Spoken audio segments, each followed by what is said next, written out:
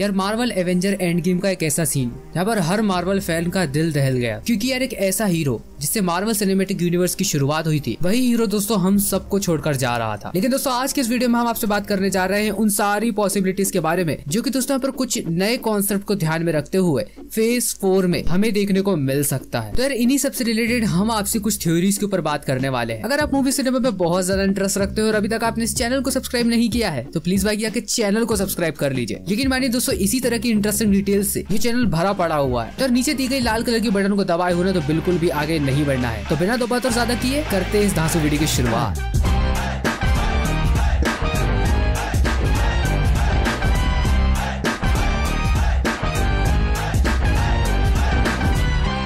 यार, एक तरीके से देखा जाए तो यहाँ पर बहुत सारे यूनिवर्स आपको देखने को मिल जाएँगे डीसी और मार्वल्स के अलावा भी। लेकिन दोस्तों, यहाँ पर सबसे ज़्यादा पसंद किया जाने वाला यूनिवर्स वर्ल्ड वाइड इस समय एमसीयू ही है। इन सब की शुरुआत दोस्तों 2008 में आयरन मैन के फ़र्स्ट पार्ट से हुई जिसको कि दोस्तों यहाँ पर जॉन फेवरियो द्वारा डायरेक्ट किया गया था। और यहाँ पर दोस्तों इन्होंने ही टोनी स्टार्क के कैरेक्टर को इंट्रोड्यूस किया था, ताकि आने वाले समय में दोस्तों इसके सब्सिक्वेंट मूवीज़ को बनाया जा सके। अब दोस्तों आयरन मैन की लाइफ आगे बढ़ती जाती है, लेकिन दोस्तों अवेंजर एंड गेम्स के खत्म होने के दौरान पूरी दुनिया को बचाने के लिए आयरन मैन अपनी लाइफ के साथ कॉम्प्रोमाइज कर लेते हैं। लेकिन दोस्तों पर जैसे ही मार्वल सिनेमेटिक यूनिवर्स की फ़ेज़ फोर को इंट्रोड्यूस किया गया तो यहाँ पर दोस्तों बहुत सी पॉसिबिलिटीज आयरन मैन के बारे में भी निकल कर आती है। और यहाँ पर दोस्तों स्टोरी में ट्विस्ट तो जब आया, जब फ़ेज़ फाइव और फ़ेज़ सिक्स की बात की गई। और आयरन मैन के दोस्तों रिटर्न होने में फ़ेज़ फाइव और फ़ेज़ सिक्स ने जलती हुई आग में पेट्रोल का काम किया। अब वही दोस्तों मार्वल के सेंट डियागो में हुए Marvel H hall Comic Con 2022 के इवेंट्स की बात की जाए तो पर दोस्तों केवन फ्रीज ने फ़ेज़ फोर के बारे में बताया। वही दोस्तों फ़ेज़ फाइव की पूरी स्लेट के बारे में भी बताया गया। वही दोस्तों फ़ेज़ सिक्स की बात की जाए तो हमारी सबसे इम्पोर्टेंट मूवीज़ है Avengers the Kang Dynasty and the Avengers Secret Wars और सच में देखा जाए तो मार्वल की अपकमिंग फ़िल्म जो आने वाली है, उसमें आयरन मैन का रिटर्न पॉसिबल तो है भाई। तो आइए दोस्तों, इन अल्टीमेट पॉसिबिलिटीज को एक्सप्लोर करते हैं कि किस तरीके से दोस्तों पर मार्वल सिनेमेटिक यूनिवर्स में आयरन मैन की एंट्री दोस्तों यहाँ पर दोबारा हो सकती है। अब दोस्तों, पहली थ्योरी निकल कर आती है टाइम ट्रेवल के थ्रू जो की दोस्तों हमने एवेंजर एंड गेम में भी देखा हुआ था। और आने वाले समय में दोस्तों ये पॉसिबल हो सकता है एवेंजर्स फाइव या सिक्स में। तो यार, जैसे की एंड गेम में हम सबने देखा थैनोस के स्नैप कर देने के बाद हमारी एवेंजर्स की टीम इन सब का तोड़ भी निकाल ही लेती है। जैसा कि दोस्तों आपको पहले भी इस बारे में पता होगा कि मार्वल सिनेमेटिक यूनिवर्स में टाइम ट्रेवल्स के जो रूल्स है,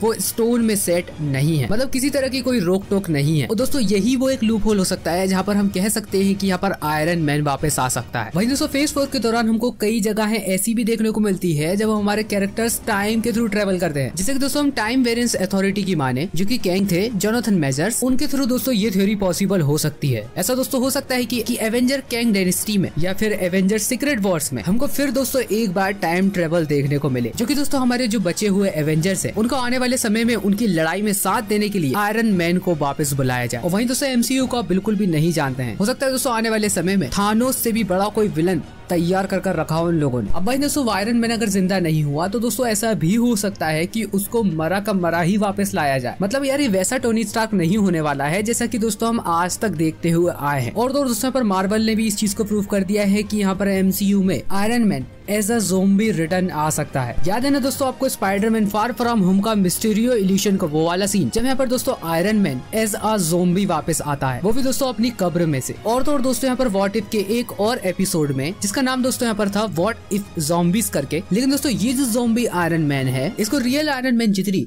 कॉन्शियसनेस नहीं रहने वाली है। और रियल आयरन मैन को दोस्तों यहाँ पर हर कोई प्यार करता है। शायद दोस्तों ये जोम्बी आयरन मैन से कोई प्यार ना करे। और वही दोस्तों अगर आप जोम्बी से रिलेटेड मूवीज़ देखना बहुत ज़्यादा पसंद करते हो हो तो आपको जोम्बिस के इमोशंस के बारे में तो पता ही होगा। उनका सबसे ज़्यादा हैवी इमोशनल इम्पैक्ट होता है उनके सबसे करीबी पर। जैसे कि टोनी स्टार्क के सबसे ज़्यादा करीब थे रॉडी और पीटर पार्कर तो दोस्तों, ऐसा हो सकता है कि यहाँ पर रॉबर्ट डॉनी का जो कैरेक्टर है, वो पीटर पार्कर और रॉडी की बात सुने। तो शायद दोस्तों, आप एक चीज़ बहुत बुरे तरीके से मिस कर रहे हैं कि यहाँ पर Doctor Strange Multiverse of Madness में ऑलरेडी एनसीयू इस बात को टीज कर चुका है। याद होगा शायद आपको वो सीन यहाँ पर स्कारलेट विच को डिफीट करने के लिए डॉक्टर स्ट्रेंज के डेड वर्जन को आना पड़ा था। कब्र से निकलकर। बाकी हाँ अगर आपको आयरन मैन का जो सूट है, लाल कलर का, आपको बहुत ज़्यादा पसंद है तो नीचे दी गई दोस्तों लाल कलर की बटन भी आपको पसंद आने वाली है। तो उसको जाकर दबा दो। अब चलिए दोस्तों एमसीयू में अगर मान लीजिए जॉम्बी वाली थ्योरीज भी काम नहीं करती है तो ऐसा हो सकता है दोस्तों की यहाँ पर आयरन मैन एआई के तौर पर हमको दोबारा देखने को मिले। आर्टिफिशियल इंटेलिजेंस में यहाँ पर दोस्तों टोनी स्टाक का कोई भी कॉम्पिटिशन नहीं था। उन्होंने दोस्तों सबसे पहला एआई बनाया जारवेस फिर उन्होंने दोस्तों पर फ्राइडे बनाया। और बाद में दोस्तों हमको आखिर आखिर में हमको एडिज देखने को मिला, जिसको की पीटर पार्कर पार्कर ने फार फ्रॉम होम में यूज़ किया था। और तो दोस्तों, यहाँ पर एवेंजर एंड गेम के दौरान अपनी बेटी मॉर्गन स्टाक के लिए उन्होंने अपना थ्री होलोग्राम मैसेज भी छोड़ा था। और दोस्तों एज ऑडियंस हम सब के लिए बहुत ही बड़ा सरप्राइज़ ये हो सकता है कि एआई के शेप में दोस्तों हमको आयरन मैन दोबारा देखने को मिले। और दोस्तों, ये बात जानकर आपको बहुत ही ज़्यादा हैरानी होने वाली है की एक्चुअली टोनी स्टार्क ने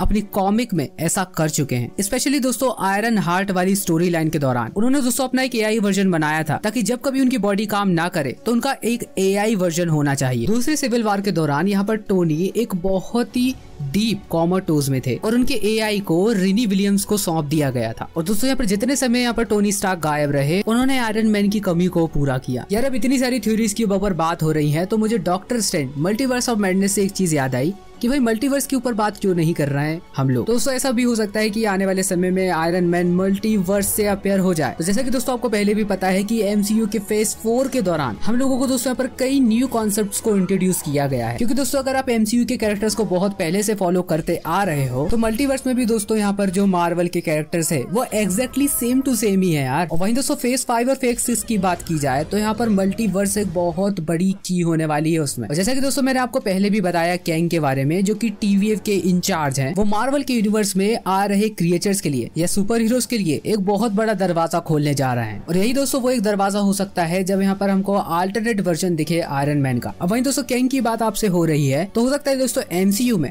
आयरन मैन की एंट्री कैंग के सोल्जर के रूप में देखी जाए। वो भी आयरन मैन सीक्रेट वॉर्स में। और वहीं दोस्तों, ये थ्योरी जो बेस्ड है, वो है कॉमिक्स के ऊपर। जब दोस्तों कैंग अपनी एक खुद की आर्मी बनाता है, जिसको की वो थॉर कॉप्स कहता है। और दोस्तों, अगर ये थ्योरी सही हो जाती है तो यहाँ पर उस आयरन मैन को कहा जाएगा आयरन हैमर और ये यकीन मानिए दोस्तों, यहाँ पर अगर आयरन मैन इस तरीके से वापस आता है तो ये सब बहुत ही ज़्यादा फनी लगने वाला है। क्योंकि यार, इस बार आयरन मैन जो आने वाला है, अगर इस तरीके से तो भाई, ये एक अलग ही चीज़ होने वाली है। भाई यार दोस्तों, ऐसा भी हो सकता है कि आयरन मैन के कैरेक्टर को रिकास्ट भी किया जाए। लेकिन मानिए दोस्तों, ये एक बहुत ही बड़ी मिस्टेक हो सकती है मार्वल के थ्रू लेकिन दोस्तों थ्योरीज तो थ्योरीज होती हैं। हो सकता है कि ये हो हो सकता है कि ये ना भी हो। So just for today guys ये सारी थ्योरीज दोस्तों थी आयरन मैन के रिटर्न को लेकर। बाकी दोस्तों, आप क्या सोचते हैं आयरन मैन के रिटर्न के बारे में? ए या तो फिर जॉम्बी या फिर दोस्तों, कोई भी थ्योरी आप आपके अकॉर्डिंग नीचे जाके कमेंट में बता सकते हैं। बाकी यार, मेरे पर्सनल ओपिनियन की बात की जाए तो दोस्तों, मुझे आधा लगता भी है की आयरन मैन आ सकते हैं। वही दोस्तों, मुझे दूसरी तरफ़ ऐसा भी लगता है की आयरन मैन की एक परफेक्ट एंडिंग हुई है। उनके दोस्तों, इस कैरेक्टर को और कैरेक्टर से रिप्लेस किया जाएगा। जैसे कि दोस्तों, आप आर्मर वॉर्स के